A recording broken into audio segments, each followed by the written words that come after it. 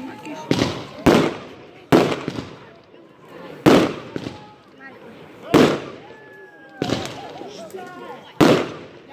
to the green. Você põe em cima.